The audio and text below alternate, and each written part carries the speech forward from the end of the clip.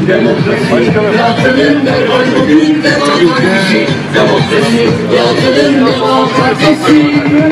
Demokrasi yatırım derhal bugün Demokrasi atılım derhal bugün. Demokrasi atılım derhal bugün.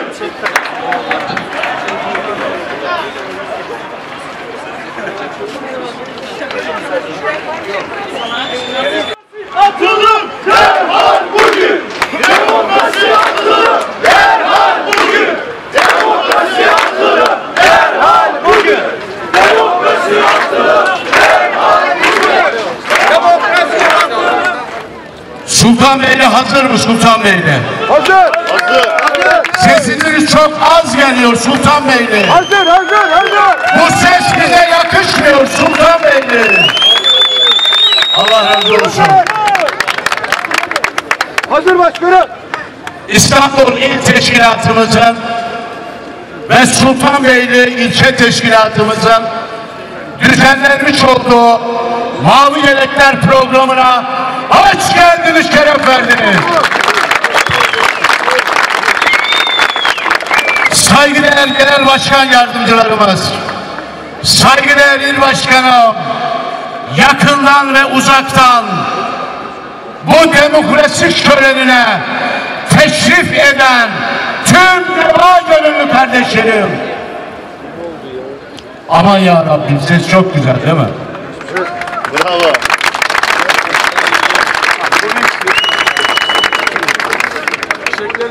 Bugün tüm dostlarıma, tüm arkadaşlarıma, tüm deva gönüllü kardeşlerime hepinizi saygıyla, hürmetle, muhabbetle selamlıyorum. Allah'ın rahmeti, Rabbimin bereketi üzeriniz olsun. Tekrar hoş geldiniz. Şeref dostlarım. Sayın Bakanım, saygıdeğer İl Başkanım, çok değerli Genel Başkan Yardımcılarımız, sevgili Sultan Beyliler, takriben iki yıldır Deva Partisi Teşkilatı Sultanbeyli'nde. Bu tarafa doğru. Evet. Sayın Genel Başkanımızı açılışımıza davet ettiğimizde orada şunu söyledim. Sayın Genel Başkanım dedim. Hiçbir kaygınız olmasın. Hiçbir endişeniz olmasın. Şahit olsun yeryüzü. Şahit olsun Sultanbeyli. Sultanbeyli emin ellerindedir dedim emin ellerde. Bugün Rabbime hamdolsun ki işte buna hep birlikte şahitlik ediyoruz. Konuşacak çok şeyler var. Ben Türkiye'nin genel sorunlarını Sayın İl Başkanımız, Sayın Bakanımız, Sayın Genel Başkan Yardımcılarımız anlatacak. Birkaç tane ev ziyaretinde bulundum. Oradaki annenin feryadını paylaşmak istiyorum. Her anne gibi, her baba gibi öğrencisinin beslenme çantasını düşünen anne o gün o annede çocuğunun beslenme çantasına ne koyacağını gözlerimizle görerek şahit olduk. Annenin elinde bir yarım ekmek vardı. Elinde bıçakla ekmeği bölerken şahit oldum ekmek ufanıyordu. Yani ekmek bayat bir ekmekti. Ekmeğin arasına ne koyacak merak ettim ve baktım. Dolabının fişi çekikti.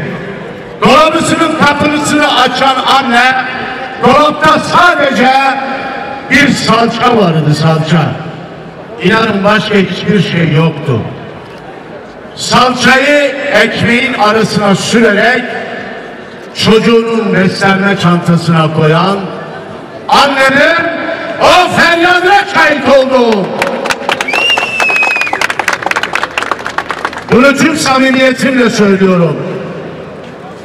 O gün yemin ettim bu annenin feryadına, bu babanın feryadına, bu gençlerin feryadına, bunları bu hale düşüren yönetim anlayışının karşısında sessiz kalırsam Allah'a yemin ettim. Vallahi kalmayacağım. Vallahi kalmayacağım.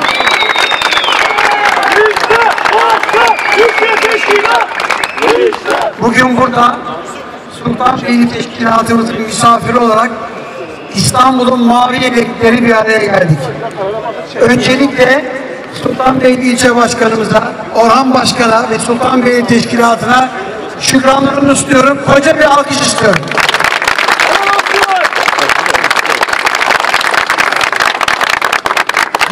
Değerli dostlar, değerli Sultanbeyliler, Deva Partisi bu ülkenin geleceği için, daha güzel yarınlar için bir araya gelmiş insanların birlikte mücadele ettiği, omuz omuza mücadele ettiği bir demokrasi hareketidir. Bir kalkınma hareketidir. Türkiye'nin bugün içinde olduğu şartlar bellidir. Bu şartların ağırlığı altında en fazla ezilen insanlar yine Sultanbeyli gibi ilçelerimizde yaşamaktadır. Bizim mücadelemiz Türkiye içindir, İstanbul içindir, Sultanbeyli içindir.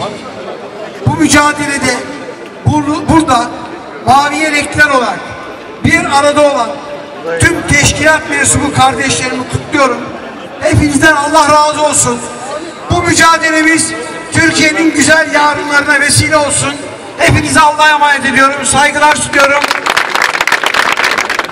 Kıymetli başkanlarım, eee, çok değerli teşkilat mensuplarımız, İstanbul'un dört bir köşesinden gelen kıymetli arkadaşlarımız ve Sultanbeyli'nin kıymetli vatandaşları, bizleri dinleyen, bize eşlik eden, alkışlarıyla, selamlarıyla, gülücükleriyle bizlere motivasyon sağlayan kıymetli Sultanbeyli vatandaşlarımız. Hepinize çok teşekkür ediyoruz. Biz bu yola çıkalı ülkemiz için, ülkemizin insanı için bu yola çıkalı yaklaşık iki buçuk yıl oldu. Bir süredir de İstanbul'da İstanbul İl Başkanlığımızın öncülüğünde her hafta bir ilçedeyiz. Bu hafta Sultanbeyli'ye misafiriz. Mavi yelekliler yürüyüşüyle devanın mavi damlalarının vücut bulmuş hali, mavi yelekliler yürüyüşüyle bizleri desteklediğiniz bu damlaları göl haline, coşan bir akarsu haline getirdiğiniz için sizlere çok teşekkür ediyoruz değerli arkadaşlarımız. Değerli, değerli yol arkadaşlarım. Az konuşacağız, öz konuşacağız. Fazla söze hacet yok. Deva Partisi ne istiyor? Ne için yola çıktı? 3-5 cümleyle bunları özetleyeceğiz. 20 sene önce bu ülkede yola çıkan siyasi parti AK Parti'ydi. Yola çıkarken şunları vaat ettik topluma. Yolsuzlukla mücadele dedik. Yoksullukla mücadele dedik. Ve yasaklarla mücadele dedik. Az gittik, uz gittik. Dere depe düz gittik. 20 sene sonra bugün geldiğimiz noktada Deva Partisi olarak diyoruz ki biz bu ülkede yoksulluk kalksın diye, yolsuzluk sona ersin diye, yasaklar bitsin diye yola çıktık ve bugün 20 sene sonra aynı şeyleri talep ediyoruz. Değerli kardeşlerim, bugün anneler, babalar kendi ailesinin, gençlerinin yarınlarını düşünmekten perişan durumdalar. Ailemizin bugünü ne olacak, orta vadesi ve istikbali ne olacak diye endişe duyuyor anneler, babalar.